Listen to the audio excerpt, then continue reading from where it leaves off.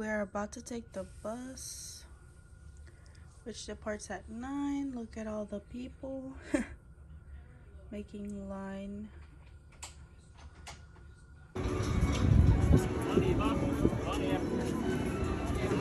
don't,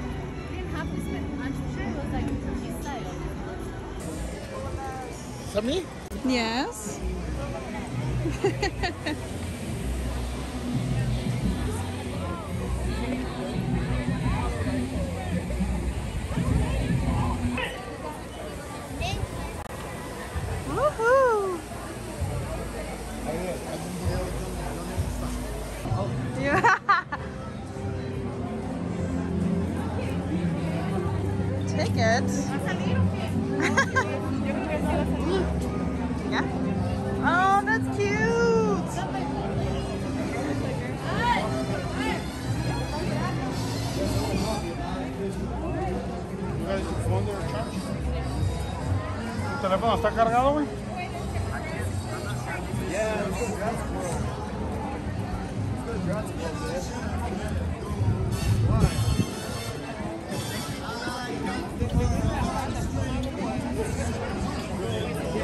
Woo! Bueno, a ver si a la salida. Butterbeer. It's cold in there. It's cold. It's snowing. It is cold.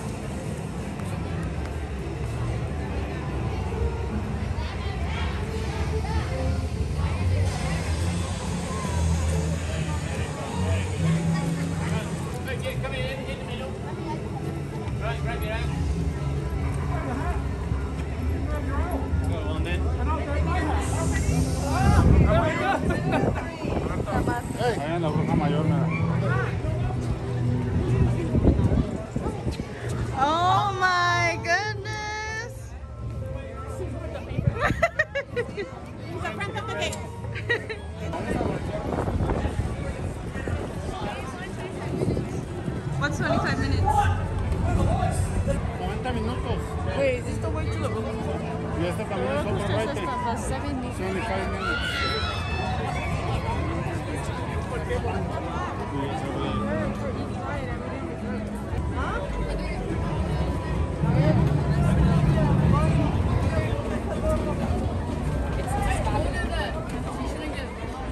Is that real coffee? No. I know. It's magic.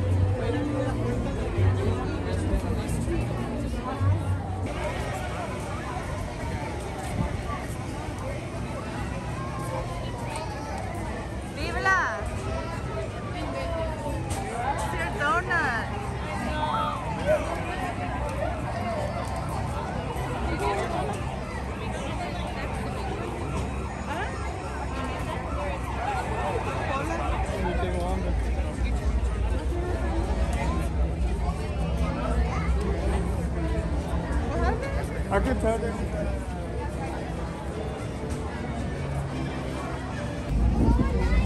Son 90. Hey guys, just make sure little one comes out of the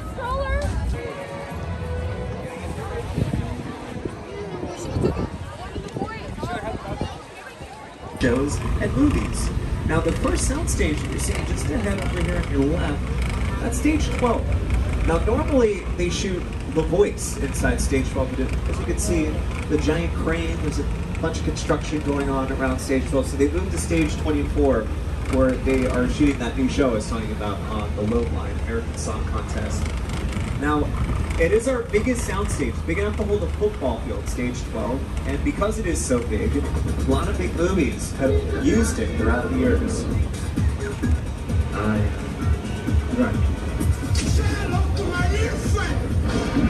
That's right, including Scarface, Back to the Future, and Jurassic Park. Now, as I mentioned, we are one of the biggest studios on the planet. We, we have over 400 acres of property, and we are still expanding. In fact, this area over here on your right, just beyond the screen fence, is construction areas where they will be opening a brand new area of theme park called Super Nintendo World. Yes, we're very excited about it. It will officially be opening up next year, 2023. So stay tuned. Now we're gonna pass by some active sound stages right now. Over here on the left-hand side, stage 16 and 17 is where they've been shooting season two of the critically acclaimed HBO Max series Hacks, starring Jean Smart and Hannah Einbinder. Now the show recently won three Golden Globe Awards, including Best Comedy Series. It won a slew of Emmy Awards, including Outstanding Writing for a Comedy Series and Best Actress in a Comedy Series with star Jean Smart. We're actually getting passed by the production base camp for Hacks over here on the left. It's all these trailers, trucks, production vehicles, and Stage 21. Now, Stage 21 is uh, one of our bigger sound stages. It's actually the second biggest sound stage here on the lot. It's over 19,000 square feet. Right now, it is being used for the series Hacks. A lot of big movies have used Stage 21, including Jurassic Park, Apollo 13, and a lot of TV shows, Superstore, and uh, The Mindy Project, Mindy Kaling, Saved by the Bell, the reboot. Now, you know, speaking of television, our television history here at NBC Universal dates back over 80 years ago, all the way back to April 30th, 1939. That's where at the New York City World's Fair we had our first live televised transmission. Now, since then, Universal Television has given you a lot of classic television series, as you can see in this montage, leading us all the way up to today. With shows that you watch at home on your TV screens today, like uh, Never Have I Ever, which uh, has been shooting its third season here on the lot. In fact, they shoot right over here inside Stage 42, right? Oh, we actually have a name for this corridor there on your right. We call it Sitcom Alley because so many famous television sitcoms throughout the years have shot inside these various stages, going all the way back to the Jeffersons, One Day at a Time, Diff'rent Strokes. And that legacy continues today with shows like Mr. Mayor, Ted Danson, Holly Hunter. They've been shooting season two right over here inside Stage 44 on your right. Now, speaking of Ted, ladies and gentlemen, our first celebrity sighting here on the studio tour, Ted from the Ted movies. What up, Ted? Uh, now, you know, just beyond Ted, over there on your left, these are our production bungalows. It's where some of Hollywood's top writers, producers, and directors work, including the founder and CEO of Illumination Entertainment, Chris Meledandri. Now, many years ago, these were not offices. They were actually dressing rooms where some of the big movie stars used to work on block. Contract players, they're called back then. Like Jimmy Stewart, Rock Hudson, Doris Day. They used to get ready in these little bungalows. They're kind of like little apartments right here on the lot. It's been hard at work shooting season two of his sitcom, Keating. And it marks the end of our tour! Yeah. Oh, wow. Tough crowd. Um, all right, guys, that is the end of the tour. Sorry to disappoint. It's the end of the tour of the front lot. But we are now going to begin the tour of the back lot. Thank, thank you, thank you, thank you. Got, got some of the people back. All right, there's a lot more to see. Check this out. There's a lot more to see here at the back lot. That's because the back lot is where they shoot everything outside. Now, these are metropolitan sets over here on your right. So they shoot everything outside on a large scale. Now these aren't buildings that you're seeing, they're what we call facades, the front and sides of buildings. That's because that's all the camera really needs to see. Let your imagination fill in the rest. Now some of these sets are also practical though. That means they can shoot both interior and exterior shots.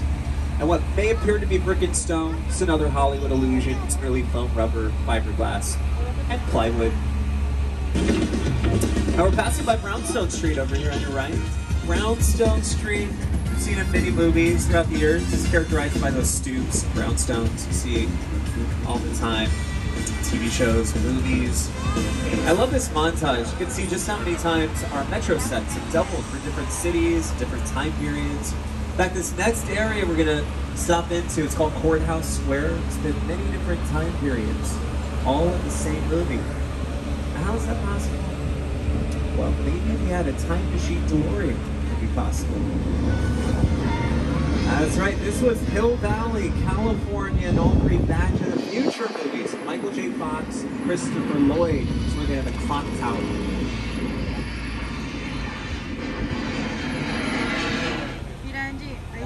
It was actually the back lot of the courthouse square that inspired the entire climax to Back to the Future. I had seen it up on the clock tower on that lead. It was a lead about that wide. And I was standing inside looking at the lead, and I already had vertigo. I just thought there's no way in the world, no way I'm going to stand on that. I was up there for quite a while. Of course, I had a cable.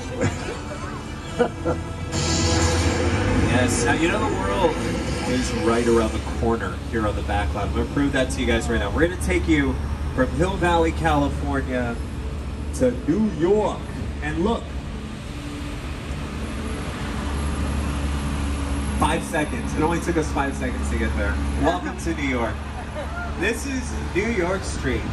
Now, you know, New York Street is the single most filmed street on the planet. You heard that right. You've seen New York Street more movies, TV shows, music videos, commercials than any other part of the world. Now, speaking of New York, our co-host Jimmy Fallon, he shoots the Tonight Show in New York City, but it's also the city where he got his start. Hey everyone, welcome to New York. I got my start right here in New York on Saturday Night Live. This is actually my old neighborhood. Almost got mugged over there. That old woman, tough lady. This is my favorite hot dog guy. Hey buddy, how's it going? Remember me? No. Just like old times. Gotta love New York City. Hey, I'm walking here. I'm walking here. Hey, it's cool guys. I was just, you know, I was just walking in. So it's not exactly New York, but a lot of times when you see New York in the movies, it was shot right here on the Universal Metro sets. If you can make it here, you can make it anywhere. Even if you make it here on the Universal lot. Yes, some recent productions that have film here on our Metro sets include American Ninja Warrior, Rutherford Falls, starring Ed Helms. Now, 1930s New York City was a setting for one of the great scenes of the movie King Kong. Here's director of King Kong, Peter Jackson. Distinguished with King Kong. King Kong. The Universal Tram is winding its way through a very rough, narrow trail in Skull Island, allowing the visitors a little sneak peek at some of the wildlife at Skull Island. All right, ladies and gentlemen, get those glasses ready. Adventure awaits. Hang on to all of your belongings. Remain seated at all times. Please, no flash photography. Welcome to Skull Island.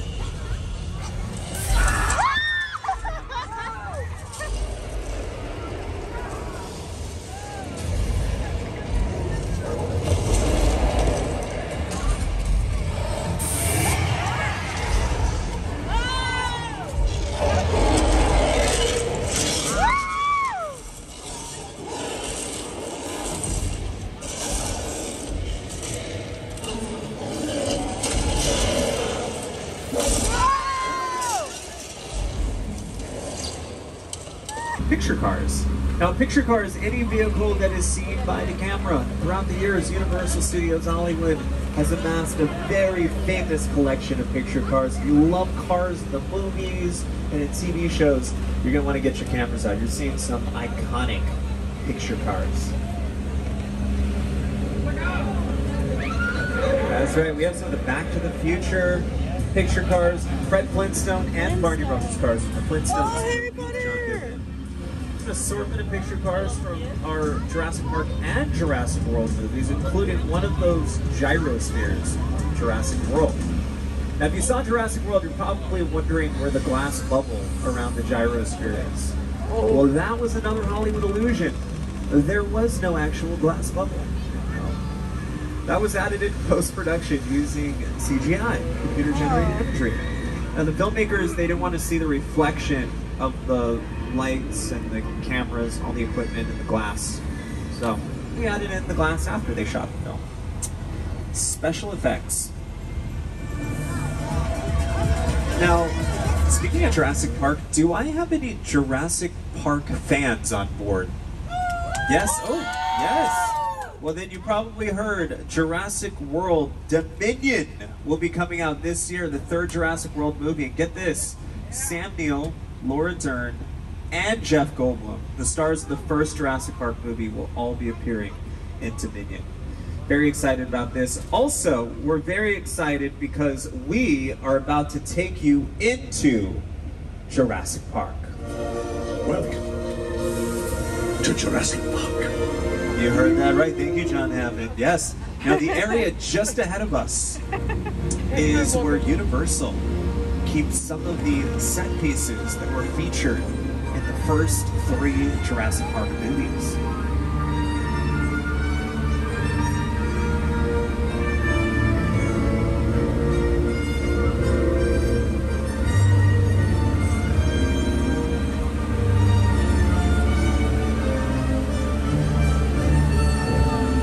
Oh yes, including the mobile lab. Yes, you're a fan of the Jurassic Park movies, you remember the mobile lab over here on your left from the Lost World Jurassic Park. Now it was featured in this very intense scene where it got pushed off a cliff by a T-Rex.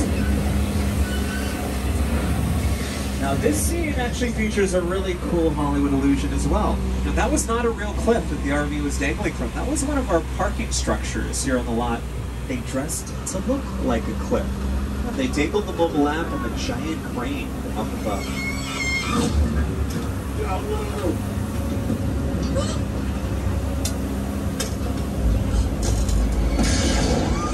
Now there's another illusion going on in this scene, and that is the rain. You notice how it's raining in this scene? Now it's a great example of how weather effects are sometimes used in film. Now if you have a scene that calls for rain, and you have to shoot that scene, say, tomorrow, well, you can't just hope that it rains on the day of your shoot. Nature does not work on cue, as we all know, so you better be prepared. You bring in a sprinkler system. You rig it from up above, and it creates the illusion of rain falling to the ground. Now, when you need a little bit extra, something extra, then that is when you bring in your CGI guys, dazzling visual effects from Universal Films.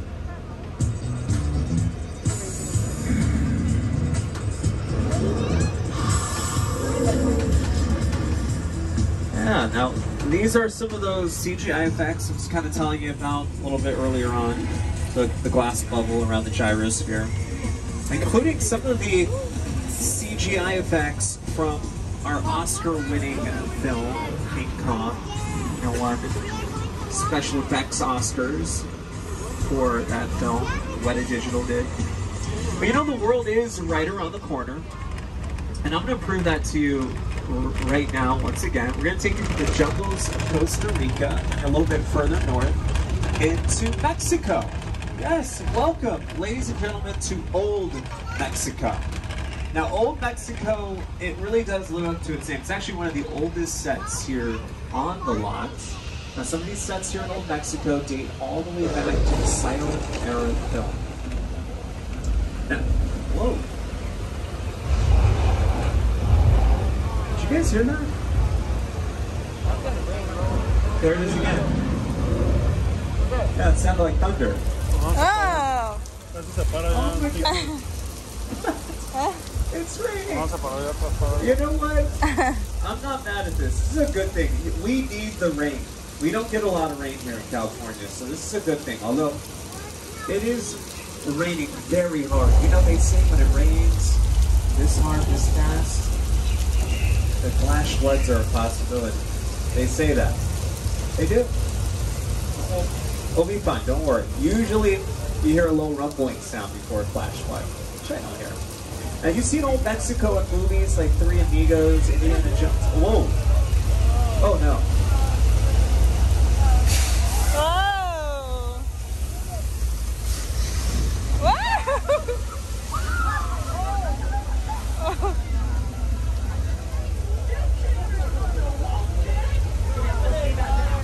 Ladies and gentlemen, I'm so proud of you right now. You just survived the flash flood weather effect. I can't say the same for Paul Giamatti there. It took him out. Well, you was a big fat ladder. You had it coming. Yes, you've seen old Mexico, countless movie productions like Big Fat Liar, Three Amigos, Indiana Jones, The Kingdom of the Crystal Skull, and also TV series like HBO's Westworld and Star Trek Picard, where it doubled as a Romulan settlement. But right now, we're going to take you north of the border, back to the States, to more of the Old West. This time, we're going to take you to Texas. I'm going to welcome you all to Six Points, Texas.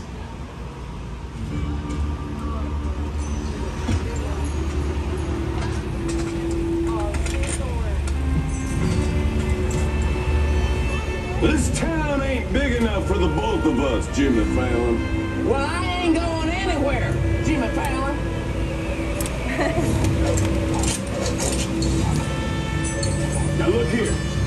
Nice folks in this tram don't want no trouble. They just want to check out Six Points, one of the oldest sets on the Universal Line. I heard this where John Wayne and Jimmy Stewart shot a few of their westerns. That's right. That's where I aim to shoot you. Looks like we got ourselves a Mexican standoff. Lucky shot. Now what say you mount up and get out of town while the getting good? All right. Well, I'll see you again, Fallon. Or you can count on me. And get. This is the beginning of a beautiful friendship. All right. Yeah, now, you know, these sets are still used to this day. In fact, director Quentin Tarantino shot scenes from his last film, Once Upon a Time in Hollywood, right here at Six Points, Leonardo DiCaprio, Brad Pitt. Well, ladies and gentlemen, we have reached the halfway mark here on the studio tour, so I just want to remind everyone to remain seated during the entire tour. The studio is private property. If you drop your phone or just can't wait to use the restroom, uh, pull the red cord and I'll be back to assist you. Now, across this beautiful lagoon of water, beautiful waterway, called Park Lake, by the way, um, are, are some of our newer sound stages, including Stage 24, where they have been rehearsing today for that new series I was telling you about, America, America's Great Song Songbook. Um, now, Park Lake, though, over here on your left, has quite a rich history here on the backlot. You know, that is where Paul Robeson sang Old Man River, the classic musical showboat. It's where Ernest Borgnine shot his classic sitcom, McHale's Navy. And... You right? Yeah, now this is actually actually a dual level soundstage. We're on the first floor. But if you go up the stairwells on either side of the tram, it'll take you to the second floor. And there you'll see an entire city block of San Francisco, which is where this movie is supposed to take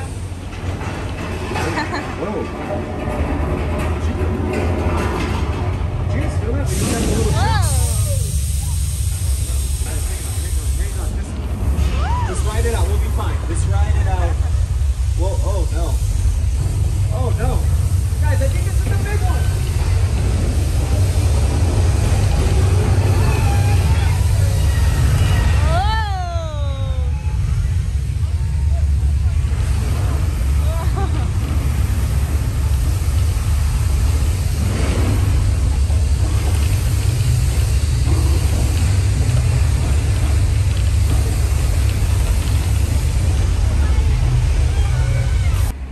He caught Jaws, my good friend George. He's, he's actually in the water right now. He's deep sea diving, just making sure everything's safe. Oh no. He caught the wrong shark! Alright, we gotta warn him. We gotta warn George. Wait. George. George!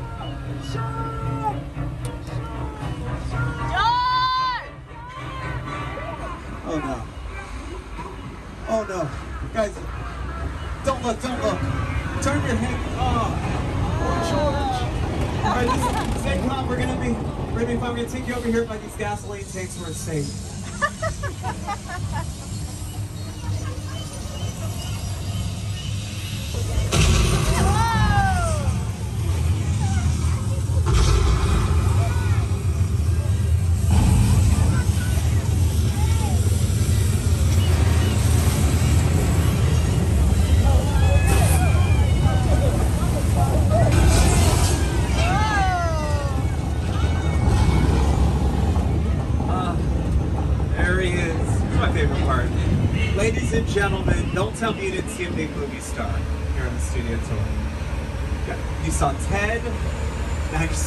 Seeing a legend over there. That's. And of course, right there in the front, Dominic Toretto's Black Charger. It's an iconic picture car from that, that franchise. You know, speaking of iconic, just around the corner, two of Hollywood's most famous movie sets. The Bates Motel and the Psycho House from Alfred Hitchcock's Psycho. Oh.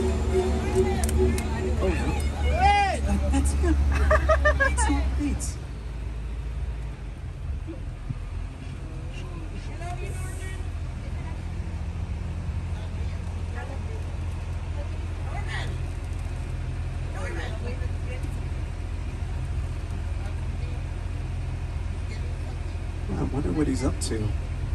He's got that trunk open for something. He was helping a guest with their luggage. Oh, no, he didn't. That's a body. That is a body. All right, you know, James, we should probably get out of here before, you know, he notices us. It's okay. Too late. Hey, hey, hey, hey, Norman.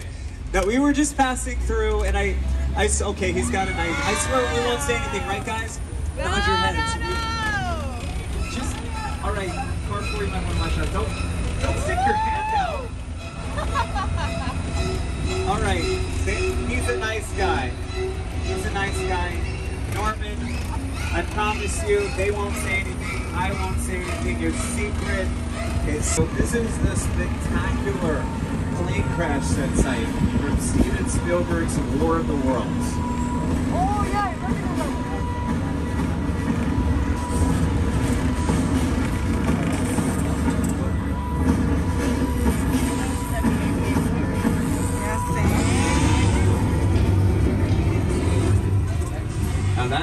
Actual 747 jumbo jet that you see over there. It was destroyed specifically for this incredible scene of the film. The airplane crash site set is a perfect example of a set that is all designed around the vision that Steven had. You first again to sit down to talk about War of the World. I thought, what if the 747 goes down right in a big neighborhood? Because it's, it's just something you don't see. You're doing You're doing good. Keep your eyes on me. Listen, now, now listen, I want you to close your eyes, okay? Okay, Okay, I'm closed.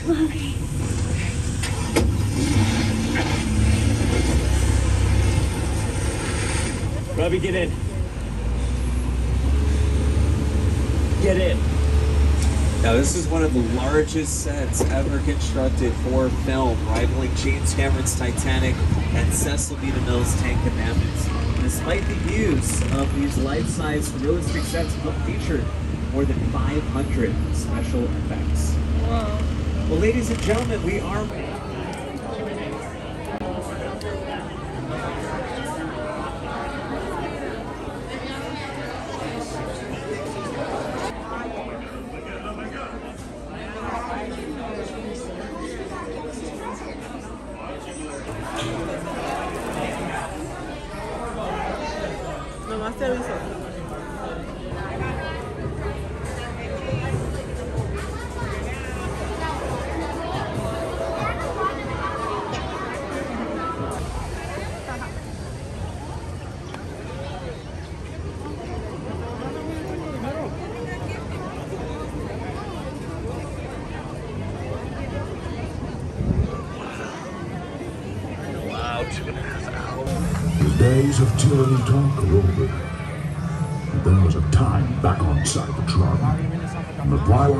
Twilight hours of the Golden Age, when Megatron and I were not sworn enemies. But he vowed to claim the AllSpark for himself. And in time, warfare consumed Cybertron.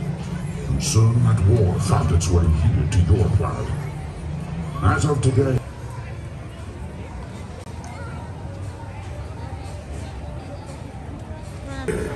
The polar ice caps have melted, and the continents are deep beneath the waves. The survivors live on these floating fortresses known as atolls in this place called Waterworld. brave explorers voyage in search of the legend of Dryland, the last remaining on the planet. But the Deacon, maniacal leader of a group of evil raiders called Smokers, is determined to find Dryland first. He's ensured that no explorer has ever returned. Until now.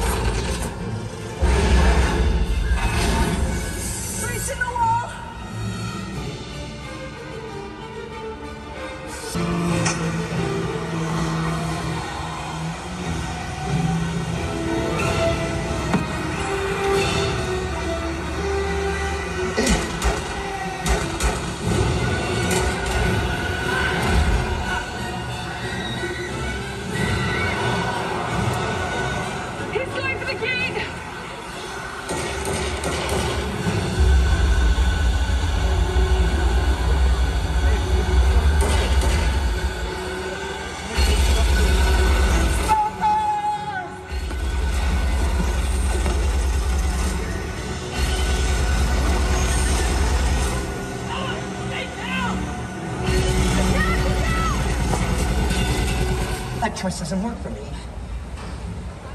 You want to play games? Let's play. We'll play. We'll have a good time. Keep an eye on her for me, will you? Guys, what have you got up there? We got an atoller! And she's got dirt! Ah, dirt. I need to know the way to dry land. Dry land. So the game is called the first one that talks lives. Leave him alone. He doesn't know anything. Good. That makes you the winner. Helen, don't tell him anything! Oh, and this guy? He's the loser. Drop him! I don't know what they told you about me, but it's worse. You're gonna tell me where Dryland is, or you'll be next. Hold on to that thought. Shoot him, Chuck! He's gone! What's that mean? Gonna leave a mariner. The mariner's under the water. Somebody shoot him! I know you!